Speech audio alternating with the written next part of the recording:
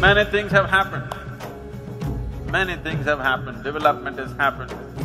Things have changed on the ground phenomenally. The young people may not recognize, but we have seen how it was and how it is today. So much has changed. But at the same time, it is very painful to see great rivers. Largely in children's minds today, river means sand, not water. This is how they're understanding. So, everybody knows the problem. And everybody who matters in the country also know the solution. It is just that they… we needed a fool who is willing to bell the cat.